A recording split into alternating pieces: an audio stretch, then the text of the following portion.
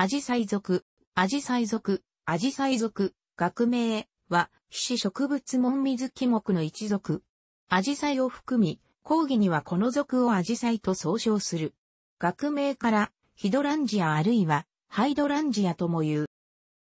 学名のはギリシア語の水曜日と容器に由来する。果実の形によるという説もある。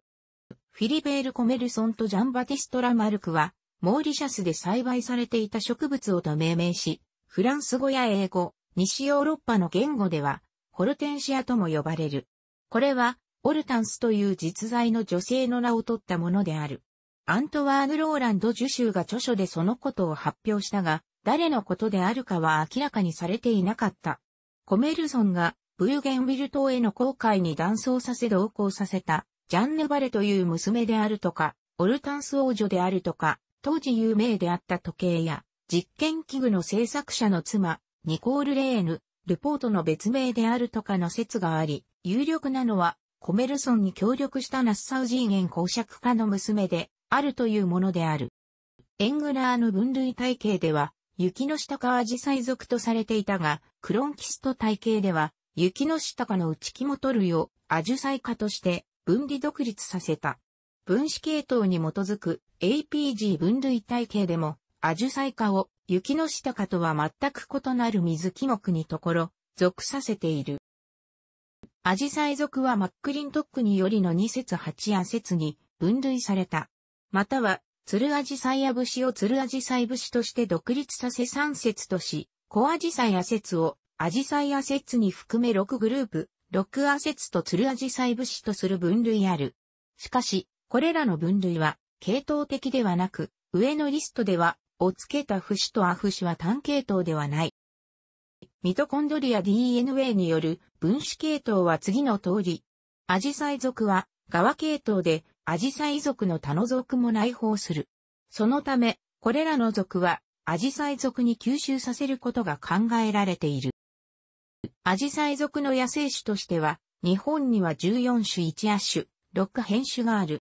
アジサイア説には、学アジサイ、山アジサイ、ハイドランゲアスティロサの3種が含まれ、いずれもアジアにのみ自生する。白色、または有色の花をつける。通常、果樹、花の並び方は、中央に両生花があってその周りを中生毛、装飾毛が囲んだ平坦な形であるが、稀にほとんどが中性化からなる球形の果樹を生じる。両生花は種を作るが、中性花は結実しない。基部から枝分かれする低木であるという点は共通するが、高さは種により異なる。種子は卵形、または長い楕円型で、長さは 0.51mm である。学アジサイと山アジサイとは、自然雑種、ハイドランゲアセロトフィラ H、サラタフィラを生じるが、これらを人為的に交配させることによって、多くの栽培品種が作り出されている。6月から8月にかけて花を咲かせる。分子系統では、山アジサイなどからなる系統と、H スティロサなどからなる系統の2系統に分かれた、側系統で、コアジサイアブシや定山属を内包する。学アジサイの原種は解析されていないが、その栽培種は双方の系統に含まれており、多種との交配による多系統かもしれない。玉アジサイア説に含まれる種はすべてアジア原産で、ネパール、中国、台湾、インドネシア、日本に分布する。いずれも温暖な気候の産地に自生するが、中国やネパールには厳しい気候に耐えるものもある。高さ1.55メートルの低木であり、葉は大きく、10-23センチ表面は荒く、果樹は三棒型で丸みを帯びる。夏季は6月から9月に始まる。側系統であり、バイカーマ茶族を内包する。コアジサイアブシは、アジサイの名を持つが、装飾毛を持たない。アジサイア説の系統に内包され、アジサイア説に含める説もある。北米原産。系統的に離れた2系統に分かれる。アジサイの名を持たないが、以下の種は、アジサイ属で、よく似た花をつける。つる植物となるものもある。伝統的に、果樹によりにア説に分類されてきたが、分子系統からは否定された。アジサイ属は側系統であり、アジサイ属の他の属を吸収させて単系統とすることが考えられている。分類上の位置は大きく異なるが、スイカズラ科にも低木で三棒果樹の周辺部に装飾毛をつけるものがあり、やや様子が似ている。虫刈りなどがその代表で、ヤブデマリでは、アジサイと同様に装飾毛だけからなる園芸品種オーデマリがあるのもよく似ている。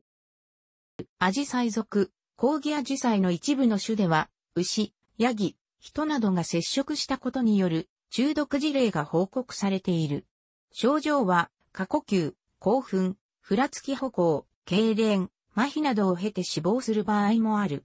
1920年にアメリカでアジサイの一種アメリカのリの木による牛と馬での中毒について下痢、体温上昇、呼吸数と心拍数の増加、骨格筋強い収縮、足を突っ張って飛び上がるなどの症状が見られたが、対症療法により回復したと報告されている。日本では2008年6月に料理の飾りに使われたアジサイの葉を接触した客が毒する事故が発生し、嘔吐、めまい、顔面硬調の症状を示した。アジサイ属の毒性物質は明らかにされていない。1920年のアメリカでの報告から、根から抽出されたヒドランギンという生産配当体、グリコシドが中毒の原因であると考えられていた。1963年に、これは誤りであると報告されている。すなわち、ヒドランギンとされた化合物は、実際には、窒素、生産を含まない、ウンベリフェロン、7、ヒドロキシクマリンであった。また2008年の日本の中毒例でも、つくば市の県では、生産配当体は検出されておらず、大阪では肺1グラムあたり29マイクログラムと微量であった。これを受けて、厚生労働省は2008年8月18日付で、アジサイの喫食による生産食中毒について、2008年7月1日の文章を廃止した。